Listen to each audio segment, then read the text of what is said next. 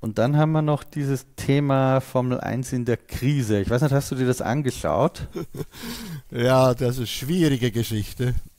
Ich sehe keine Krise.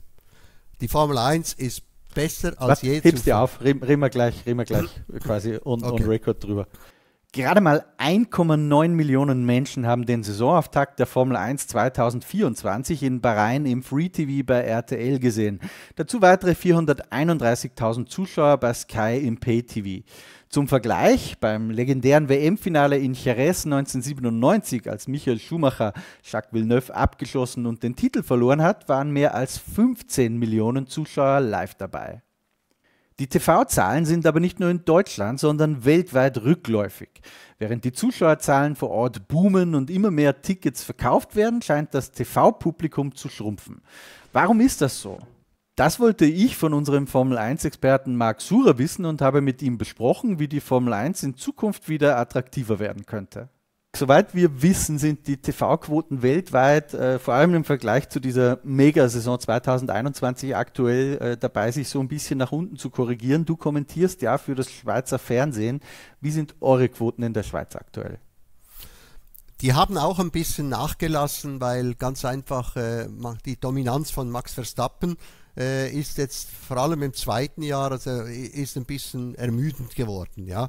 Und natürlich bei uns in der Schweiz ist ja immer das Sauberteam äh, halt das, was die Leute vor den Fernseher holt oder eben nicht. Und äh, deswegen muss ich sagen, ja, auch bei uns ist es jetzt nicht so, dass eine Euphorie herrscht, aber wir haben sehr konstante und zuverlässige Zuschauer. Das heißt, es schwankt bei uns eigentlich sehr wenig. Jetzt hast du gerade die Dominanz von Max Verstappen angesprochen. Es gab ja in der Formel 1 diese lange, lange Jahre äh, Dominanz von Mercedes. Jetzt sind wir gerade mittendrin offensichtlich in einer Red Bull-Ära, die auch noch nicht vor dem Ende steht. Äh, Dominanzen grundsätzlich in der Formel 1 immer gegeben. Wenn ich zurückdenke zum Beispiel an die 90er Jahre, da war erst McLaren äh, stark am Anfang, dann Williams ein paar Jahre, dann kam wieder McLaren auf, dann irgendwann Ferrari. Der große Unterschied ist, irgendwie scheinen diese Dominanzperioden länger zu werden. Ist das einfach Zufall oder hast du dafür eine Erklärung? Für mich ist die Erklärung, dass die, das Reglement so eng gestrickt ist, dass du gar nicht mehr Möglichkeiten hast, was äh, anderes zu machen. Das heißt, du musst im Prinzip dann das Auto kopieren, das am schnellsten ist. Und äh, da kannst du ja nur so gut sein oder du bist dann immer zweite Wahl. Du kannst ja nicht äh, eine Kopie besser machen als das Original. Das ist schwierig. Also, äh, wenn das Reglement mehr Freiheiten lassen würde, dann könnte einer nach Hause gehen und sagen, so, jetzt gehe ich im Windkanal, jetzt müssen wir irgendwas finden. Aber jetzt können sie eigentlich nur noch kopieren, weil, weil alles so eingegrenzt ist. Es gibt ja auch diese Handicap-Regel in der Formel 1, dass der, der Weltmeister war, ich breche das ein bisschen runter und vereinfacht das, darf weniger im Windkanal testen äh, als zum Beispiel der WM-Zehnte, der, der letzter war. Ähm, müsste man diese Handicap-Regel vielleicht auch noch weiter anziehen oder ist es eher so, wie du gerade gesagt hast, Leute, weg mit diesen Regeln, äh, lass es uns freier gestalten. Wie, ich glaube, Adrian Newey hat das mal gesagt, oder Auto muss in eine Box passen und alles andere baut ihr bitte selbst. Ja, also ich, ich finde schon eben diese Einschränkung, auch da ist natürlich der Windkanal, hilft ja den Hinteren nicht wirklich so viel weiter, weil sie ja nichts Neues ausprobieren können. Sie, sie kopieren ja auch die schnellen Autos und kommen dann näher. Das heißt, wir haben ein brutal enges Feld jetzt. Aber was bringt das? Es bringt trotzdem keine Positionen, sondern es, das Feld rückt einfach zusammen. Würde man mehr Freiheiten geben, dass die, die jetzt im hinteren Teil des Feldes mehr Windkanalstunden nutzen können für neue Dinge auszuprobieren, neue Ideen auszuprobieren, dann könnte es Überraschungen geben. Im Moment fehlen die. Und im Moment ist einfach so, wer schon mal ein gutes Auto hat, kann natürlich mit den wenigen Stunden, die jetzt ein Red Bull äh, dann noch im Windkanal kann, können sie alles optimieren. Und sie haben ja eigentlich äh, ihr Auto perfekt optimiert. Ja? Das heißt, sie haben genau auf die, jetzt auf die Kühlung hauptsächlich äh, Wert gelegt und haben die Windkanalstunden dafür verwendet. Sie mussten ja nicht ein neues Auto konstruieren, sondern sie haben äh, ein, ein, äh, einen Schritt gemacht, in, was die Kühlung angeht. Und dadurch ist das Auto schneller geworden. Also ich denke, äh, dass das enge Reglement ist das Grundübel. Es sind ja auch die Zeitabstände wahnsinnig eng. Also vielleicht kurz einen Ausflug. Ich habe gerade kürzlich wieder einen der besten Grand Prix gesehen. Das war irgendwas Ende der 80er Jahre, ich glaube Mexiko ähm, oder so. Und wenn du dir da die Startaufstellung anschaust, dann ist ja teilweise der vierte, fünfte schon zwei Sekunden hinten gewesen. Also so gesehen sind die Abstände heute ja unglaublich spannend. Und trotzdem haben wir subjektiv das Gefühl, weil es auch so ist, der Verstappen gewinnt alles und das ist so langweilig wie noch nie da ist irgendwie, äh, da gibt's ein, da ist irgendwo eine Schere in, in dieser Frage. Richtig, richtig. Aber vielleicht nochmal, diese Windkanalregel ist ja gut. Aber wenn du wenig Möglichkeiten hast, etwas Neues zu bringen, dann nützen sie eigentlich den hinteren Teams auch nicht so viel. Und die vorderen haben eigentlich den Vorteil, dass, dass auch die direkte Konkurrenz dahinter, ob die jetzt ein paar Stunden mehr in den Windkanal dürfen oder nicht, auch nicht den großen Schritt machen können. Das heißt, alle vorne sind ein bisschen eingebremst und die hinteren können eigentlich nur kopieren. Und, und äh, ich denke einfach, mehr Freiheiten würde Überraschungen geben. Natürlich würde es dann vielleicht irgendjemand schaffen, wie der à la Bron, äh, dass das äh, allen davonfährt, ja. Äh, mit, mit, einem, mit einem Trick oder mit einer Lösung, die keiner damit gerechnet hat. Aber lass uns, ja, lass uns doch solche Überraschungen äh, äh, gefallen, weil, weil das würde das wird ein bisschen durcheinander wirbeln. Jetzt haben wir 2024 erstmals 24 Grand Prix, wenn man die Sprints mitzählt, äh, sind es 30 Formel 1 Rennen. In diesem Jahr ähm, geht teilweise auch ein bisschen schon auf, auf Kosten des Personals der Teams. Glaubst du, dass Liberty im Zuge dessen die Formel 1 so gut wie möglich zu melken, also die Q Formel 1 und ich meine das finanziell so gut wie möglich zu melken, dass man vielleicht den Bogen ein bisschen überzogen hat inzwischen und auch ähm, erste Sättigungseffekte eintreten beim Publikum?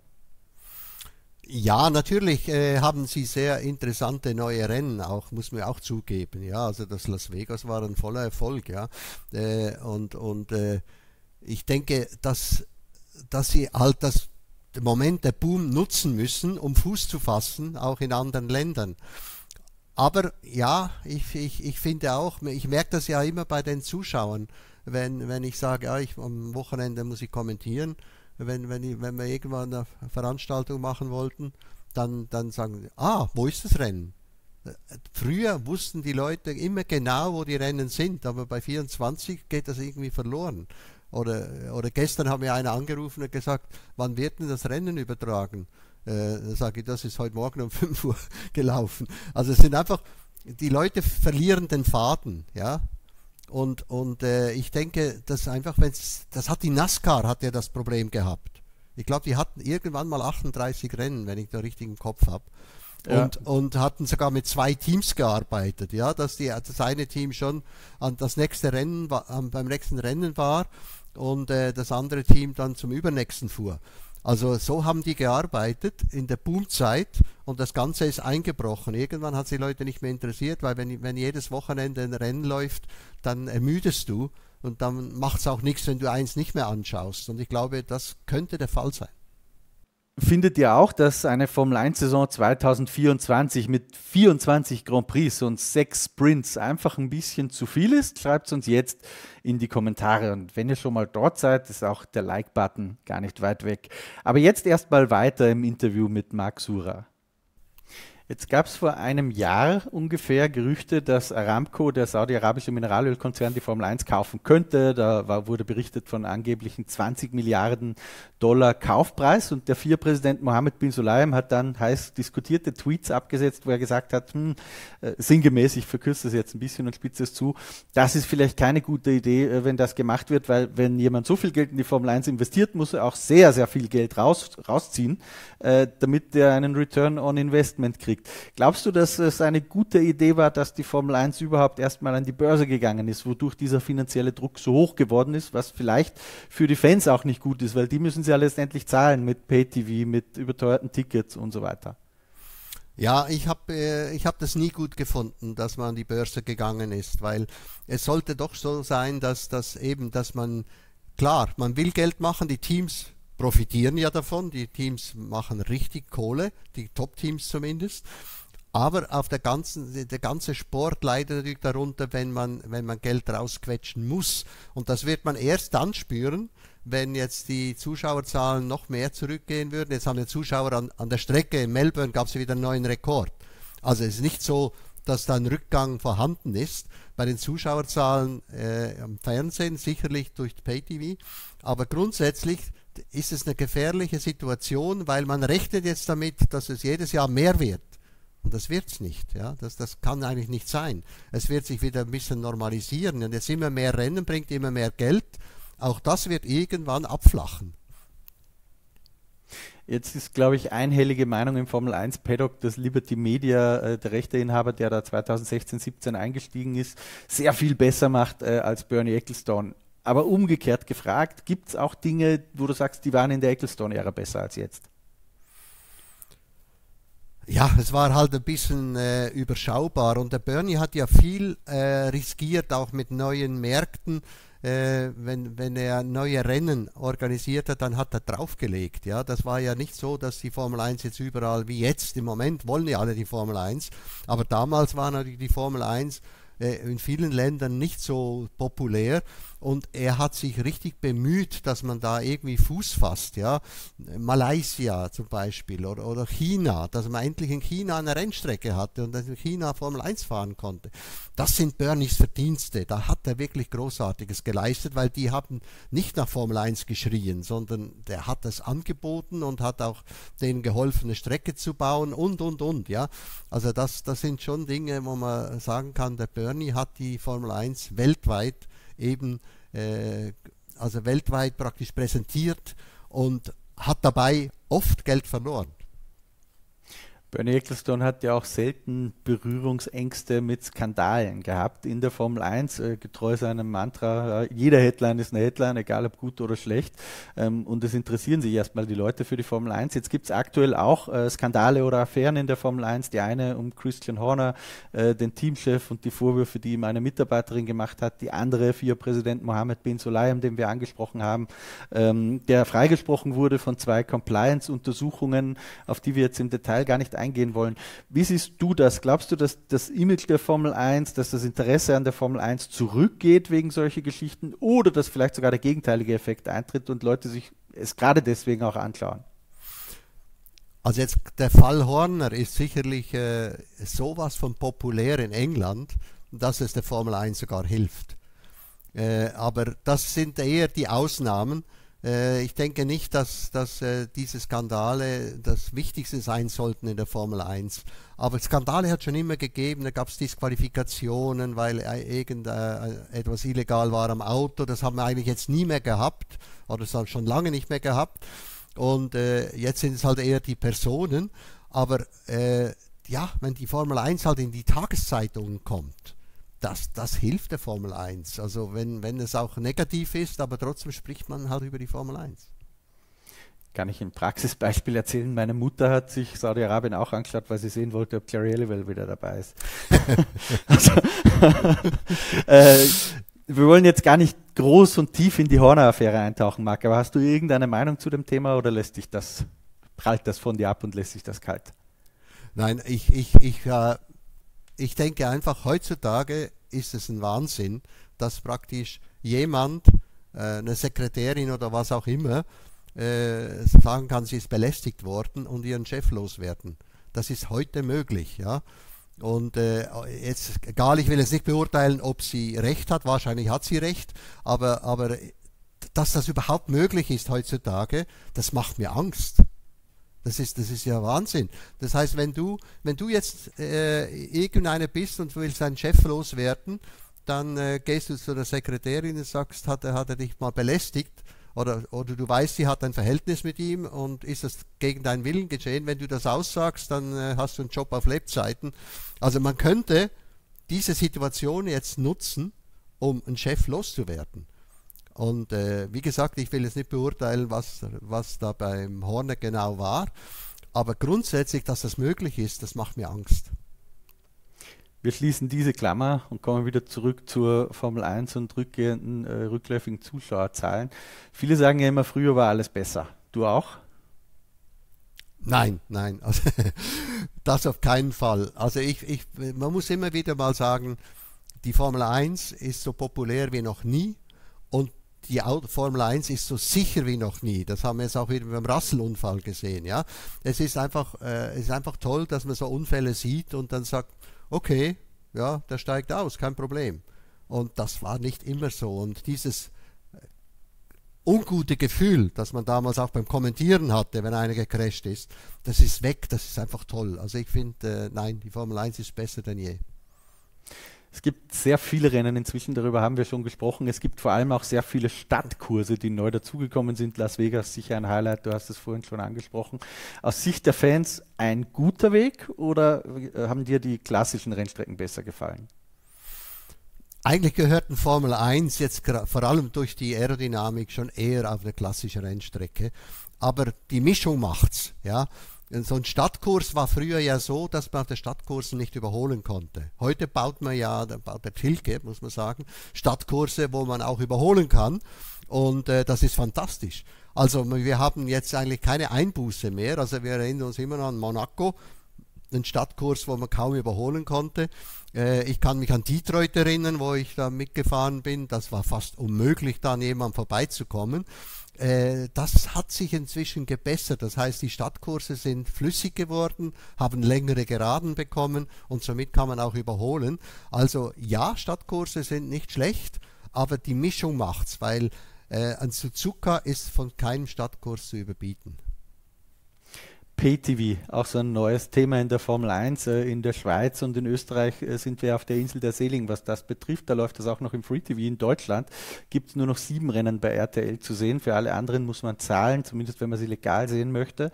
Ähm, macht die Formel 1 da alles richtig, weil man mit PTV ganz gutes Geld verdienen kann oder ist es auch für, mit einem Risiko verbunden? Es ist definitiv äh, mit einem Risiko verbunden. Also ich bin froh, dass RTL in Deutschland wieder was macht weil äh, wenn da nur 700.000 Zuschauer ein Rennen schauen in, in Deutschland, das, das tut weh. Wenn man weiß, dass es früher zehnmal mehr waren, ja, als, als Schumacher noch fuhr. Klar, das war Schumacher, de, den Boom haben wir jetzt dafür in Holland. Aber grundsätzlich äh, ist, ich, glaube ich, dass es falsch ist, auf Pay-TV zu setzen, weil dann auch für die Sponsoren, ja, wenn weniger Zuschauer zuschauen, die auch die Sponsoren weniger davon haben.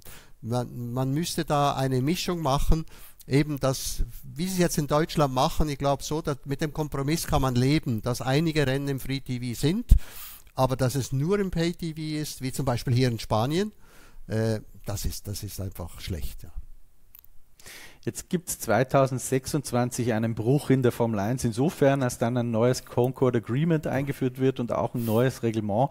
Wenn ich dich jetzt frage, Marc, was wäre die eine Sache, die du ändern würdest, wenn du könntest? Äh, fällt dir da was ein?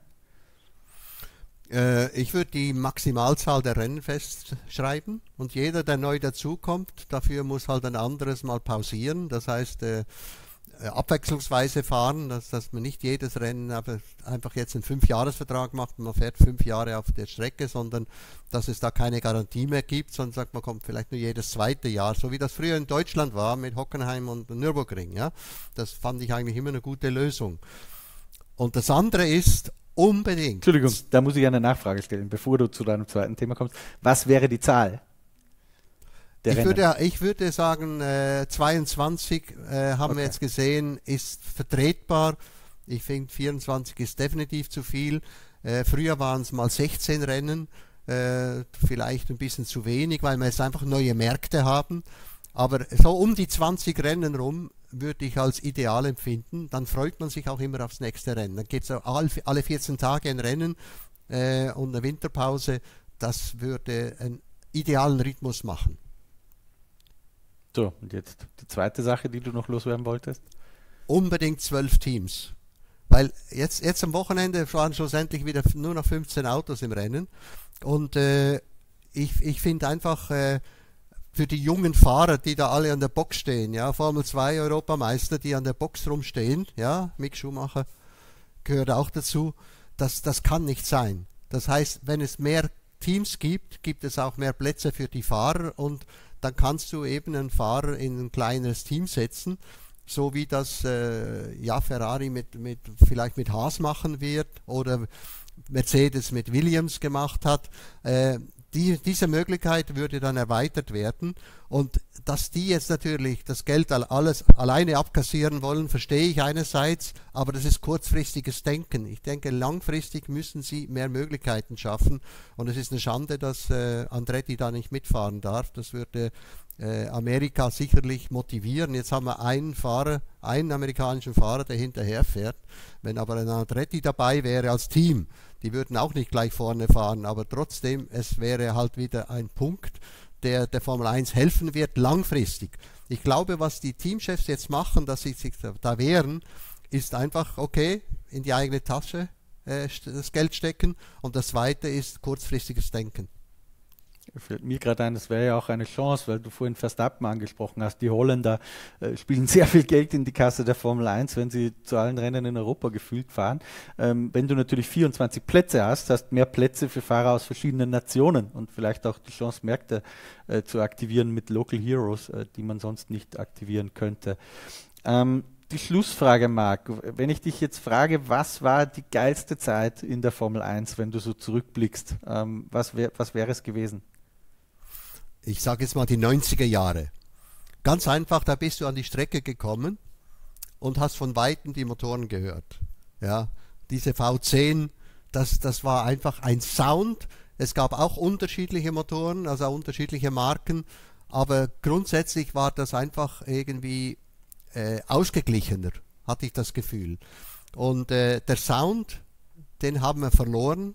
Und das finde ich sehr, sehr schade. Also das, weil das einfach ein Teil äh, der Formel 1 ausgemacht hat, ja.